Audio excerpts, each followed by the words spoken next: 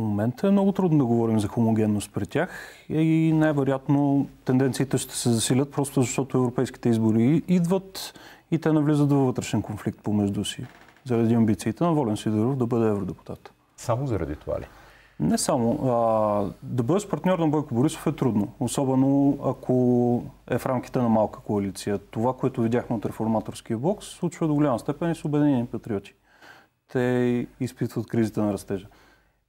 Не ми отговорих на въпроса. Кое, ги, кое е сплъвта на националистите в момента? Желанието да останат на всяка цена на власт или явяването на, на изборите? Това, което ги сплотява е невъзможността да се явят на нови, тъй като нямат формат. Uh-huh. В момента, с който да го направят. В момента никой не е готов за избори, освен, може би, ДПС. Говорите по принцип? Да. Тази смяна, която беше извършена днес с началничката на кабинета на Валери Симеонов, тя знак за какво е? На първо място е знак, че тези хора не са се получили от това, което се случва в цялата страна. А, да сложиш анонимен човек на толкова висок пост в този момент е безотговорно. Независимо от нейните качества, нали? Освен, че е анонимен човек. Не мисля, че някой от гласувалите днес е запознат с нейните качества. Те дори грешаха името й. Абсолютно. А, добре, какво, каква е вашата оценка за тези протести? Защото почти в последните дни всеки един, който е в това студио, дава оценка. Може би преди малко чухте и Трайчо Трайков какво казва. Вие какво мислите? Защото са много поляризирани. Едните казват, те са купени хибридна атака решетника, други казват, сега ще цитирам и Томислав Дончев, други казват, това е, е народното недоволство. Каква е истината? Истината е трудно да кажем. Генезисът на протестите не е съвсем хомогенен. Ние виждаме няколко протеста, които нямат сякаш единни искания, освен нещо свръхобщо като смяна на системата. А, но това нещо не е формализирано в, в реално как трябва да стане. Нямаме план за действие. А, протестите са знак, че народът е недоволен. Със сигурност имат оправдание до голяма степен и за цената на горивата и разбира се майките имат защо да протестират. Защо сега е интересен въпрос, като ще трябва да разберем кой подклажда тези протести, ако те не са самоорганизирали се, а кой налива масло в огъня. Подклажда ли ги някой? Ами със сигурност. Аз, аз поне от това, което наблюдавам в социалните мрежи, виждам как се споделят едни а, трагични клипчета за България от разни групи, които по принцип споделят тотално различно съдържание. Всичко изглежда като кампания. А, това е перфектната буря за раждане на популизъм у нас. Обаче има нещо, което трябва винаги да, да си има преди, че какъвто и да е протеста, дори както е на, така, сравнително чист протест, какъвто е на майките, всеки там отива с а, някакво свое минало, с, с своите убеждения, политически пристрастия, няма как да, да се появят едни а, такива стерилни протестиращи, които нямат а, нищо общо с БСП или с Русия, или с десните, или с местния кмет. Разбира се, протестът никога не може да бъде деполитизиран, тъй като той има политически искания. А, изначално... а те имат ли политически искания, тези хора, които протестират? Конкретно майките със сигурност. Останалите, доколкото смятат на системата е политическо искане, без да имаме реален план за действие, то да, имат политически искания. Ще видим а, как ще се формират те. А, до, за момента ми изглежда, че това е протест по-скоро на негласуващите хора, на този необхванат електорат, който един нов политически играч, примерно, може да, да поеме. Нещо като Слави Трифонов. Добре, аз казах на зрителите, че преди малко заместник министър председателя Томислав Дончев, който е един от може би най-интелигентният в това правителство, разбира се, не, това не е комплимент за Дончев, показа своята гледна точка към това, което става. Е, няма, разбира се, да цитирам всичко от него, само може би финала, защото в началото, разбира се, има едни такива лирични отклонения на Томислав Дончев, който казва как на времето и той е протестирал в, като студент и му се е събрал една седмица с пане на банките. Но той казва, научих, че ако искаш да промениш нещо, трябва да участваш, да нагазиш, а не само да споделяш шумно горест. Това последното го научих доста по-късно и честно казано още го уча, казва Томислав Дончев.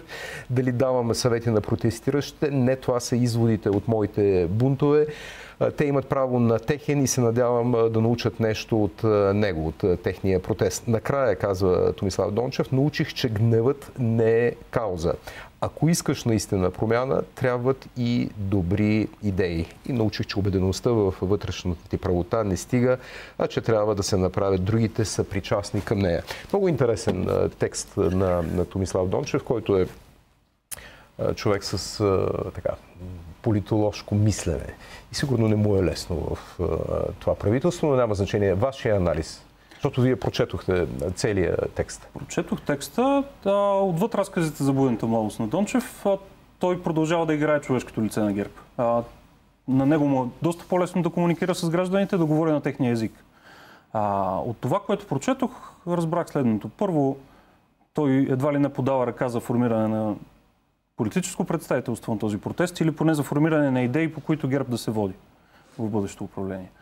А, той иска от гражданите да предложат решения. Не съм сигурен, че това е тяхна работа.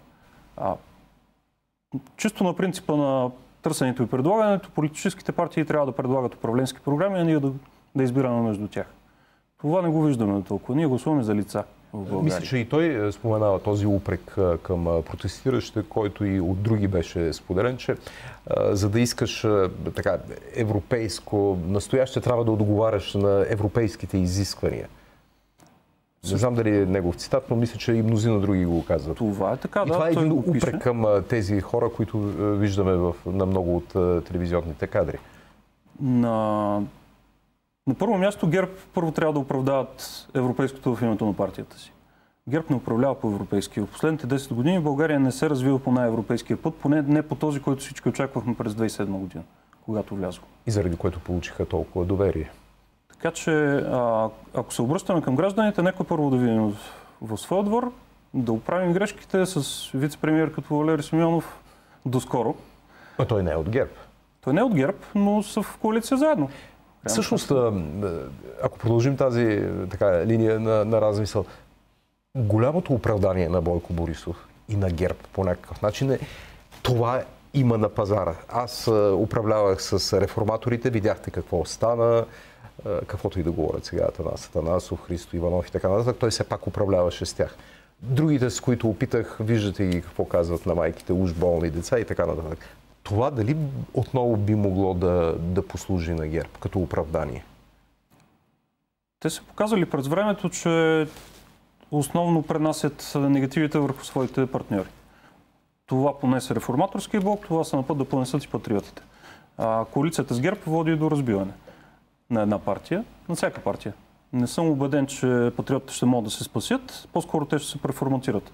А, фактът, че това има на пазара е основно е причината се крие в това, че ГЕРБ асимилират всеки докато се докоснат. И смуква го. Следствие на това партньори просто не остават възможни. Споменахте за президента Румен Радев и за това кой би могъл да се възползва от тази, доколкото и има, разбира се, гражданска енергия.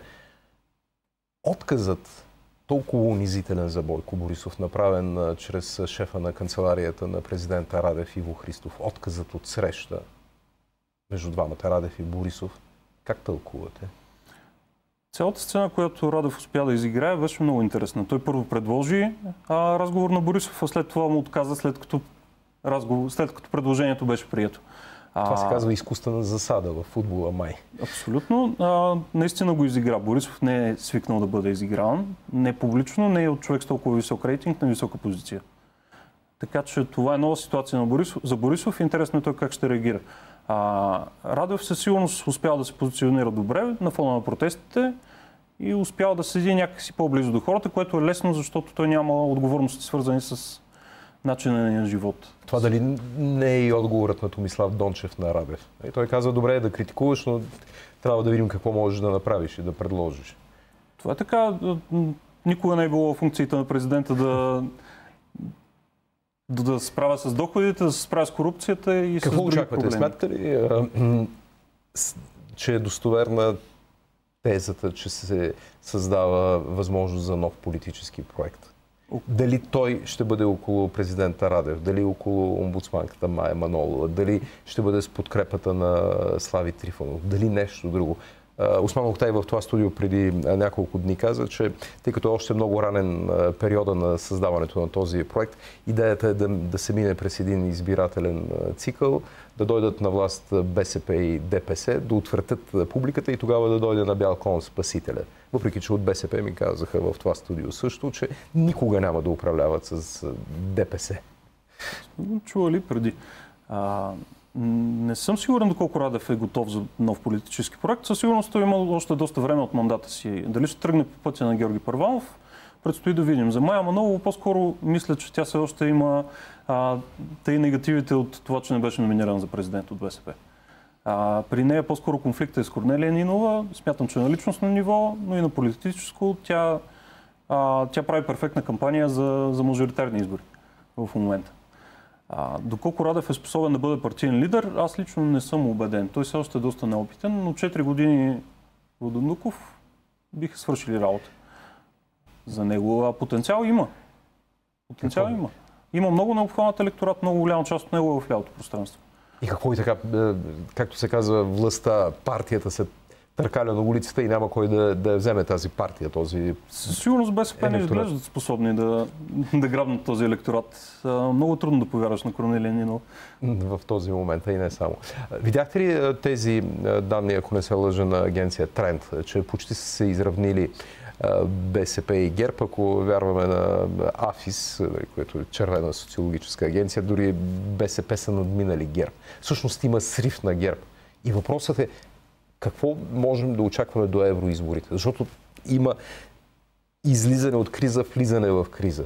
Ние сме така от август. За ГЕРБ европейските избори са възможност за препозициониране. За БСП тази възможност е много по-трудна. Те влязаха в много конфликти с собствените си евродепутати заради покрегласуване на Истанбулска конвенция и други въпроси. А, за тях ще е много трудно да бъдат европейско лице на, на лявото. Така че за ГЕРБ това ще бъде много по-лесна задача. Смятам, че те ще излязат от европейските избори по-силни. Винаги социологията показва сближаване, но факторът, че ГЕРБ са много по-организирани по време на избори, най-вероятно ще им донесе успех.